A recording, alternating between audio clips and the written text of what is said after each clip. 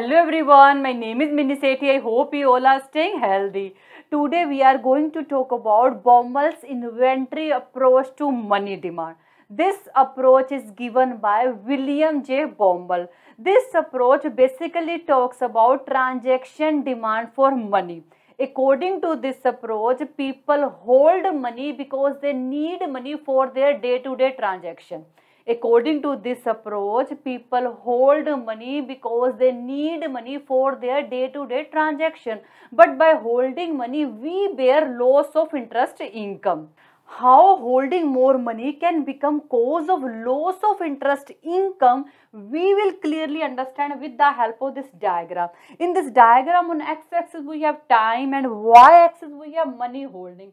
Suppose your monthly salary is 12,000 rupees. On 1st Jan in your account you receive 12,000 rupees and you withdraw whole amount of 12,000 rupees for your monthly transaction and you will spend this 12,000 rupees till 1st Feb when you receive your next salary again on 1st Feb you receive 12,000 rupees in your account. Again you withdraw whole amount of 12,000 rupees for your monthly transaction. And you will spend this amount till 1st March when you receive your next salary. And this process will continue. According to Baumol we need not to withdraw this 12,000 rupees for one time because we are not going to spend this 12,000 rupees in a one day. We will spend this amount within a month. For example first first 15 days you will spend 6000 and next 15 days you will spend remaining 6000 rupees. That's why we need not to withdraw this uh, 12000 rupees in a one day. Instead of this we can only withdraw 6000 rupees for 15 days and remaining 6000 rupees uh, for 15 days we can invest in bonds or we can keep our money in our saving account. As we know saving account is less risky as compared to bonds. By doing this we can earn some interest income. So here we can say that our average money holding is 6000 rupees or we can say that our unnecessary holding is 6000 rupees. This holding we don't need because we are not going to spend the whole amount in a one day. By holding this 6000 rupees we are losing our interest income now with the help of this diagram we will clearly understand how we can earn some interest income by reducing our money holding. Suppose your salary is 12,000 rupees and on 1st Jan in your account you receive 12,000 rupees. Now you are not going to withdraw whole amount of 12,000 rupees at one time. You will withdraw only 6,000 rupees and you will spend the 6,000 rupees till 15 Jan and remaining 6000 rupees for next 15 days you are going to invest in bonds or you will keep some money in your saving account. By doing this you can earn some interest income.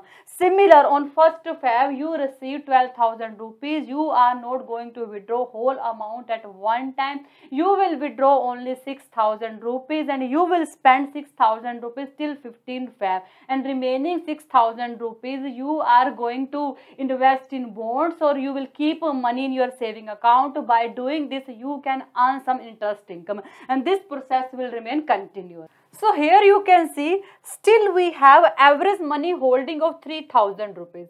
Or we can say that still we have unnecessary holding of 3000 rupees which is cause of loss of interest income. But this holding is less as compared to earlier. Earlier it was 6000 rupees we can reduce our holding more and earn more interest income by investing more money in bonds or keeping more money in saving account.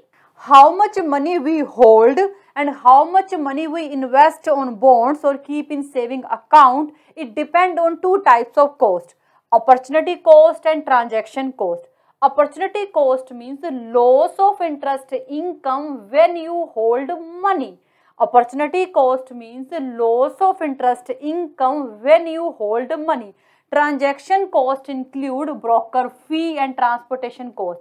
When you invest your money on bonds, you have to bear broker fee.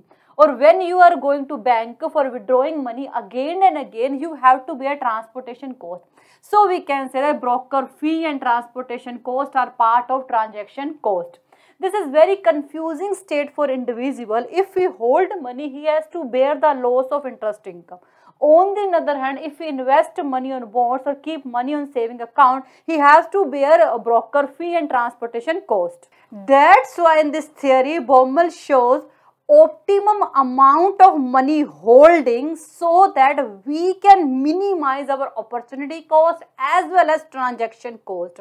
As we know, interest rate and holding money have an inverse relation. When interest rate is high, we will hold less money because now interest rate is very high. We will invest our more and more money and will earn more interest income. So, we can say that interest rate and holding money have an inverse relation.